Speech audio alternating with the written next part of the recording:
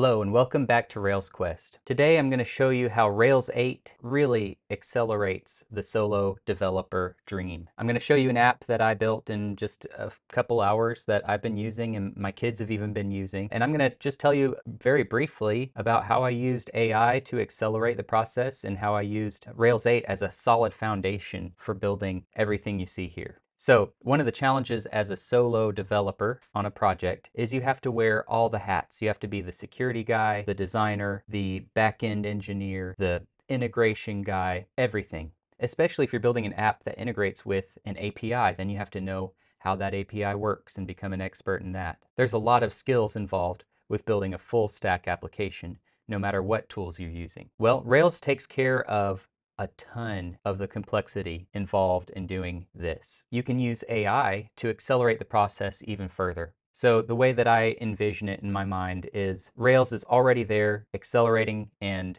supporting the solo developer in just about every capacity you can imagine. When you add some AI assistance to the mix, that just means you get to delegate some of the things you care less about right now to the AI. Maybe you'll pick them up and refine them yourself later. But for now, you can delegate a few things, pay a couple bucks to an AI, talk about cheap developer help, and you get something that's at least decent, halfway decent out of the deal. So I'm going to show you this app that I've been working on. This app is called Author Launch, and you can see I've got a little bit of a landing page here, delegated completely to AI, by the way. The design is delegated to AI. The AI came up with the color scheme I just kind of described. I want it to look book-ish and something that's kind of rustic, and it came up with this color scheme, which is kind of nice. Maybe it's not the best thing in the world, but it's it's decent, right? And it's certainly readable. So you can sign up for a free trial. It highlights some of the features that either exist already or I've got planned. And let's take a look at the projects. So this is just a listing of the projects that I have in the app. You can take a look at one that's in progress. I dumped a bunch of context in here and the app generated, we're going to look at this in just a moment, it generated chapters and it generated sections within each chapter. Let's create a new project.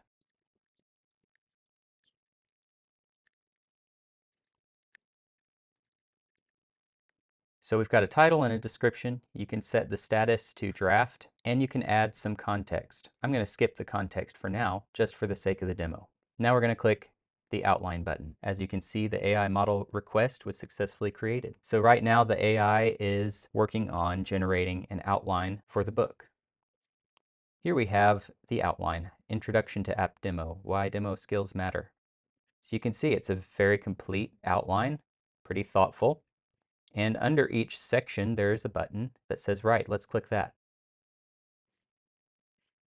And it writes this section of the book. So that's pretty much what the app does today. It is an, a glorified AI ghostwriter. There's a lot that we could do with this app. I would love to add some editing capabilities, but my kids and I have been having a lot of fun writing our own books. Uh, my kids have made little stories with it, and I think I'm going to keep adding features to this project. If you're interested in getting access to it, I can definitely do that for you, so just reach out on one of the platforms where you can send me a direct message. Let's take a quick look at what happens when I change the color scheme.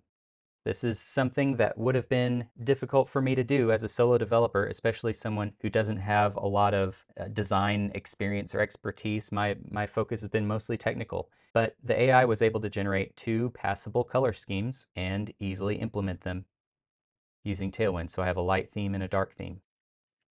And let's take a quick look at the code. This broadcast refreshes that's built into Rails with Turbo 8. That is what allows a, uh, a Turbo Stream connection so that you saw the seamless transitions when the AI would update the UI that you were seeing inside the app. That's what powers that. And we've got some standard Rails stuff. We've got something the AI model request tracks the progress. And this is where the magic happens, request from AI. We're using my own Rails Quest AI library to interact with, in this case, we're using the Claude model. And I'm just using the default Claude model. We set a system message, we add a user message, and we specify the JSON schema that we expect to get back. And that's where the magic really happens. It uses uh, under the hood, we're using OpenRouter and it uses the tools API there. Uh, and OpenRouter translates that into something that the specific AI provider supports. And the JSON schema tells it exactly how to structure the data that it gives us back. So instead of just giving us a big blob of markdown or text, we get back structured JSON data. And you can see on success, I very simply assign the attributes that I get because I can be confident that the AI is giving us exactly what I asked for because I specified it in the JSON schema. And of course, we can do some error handling.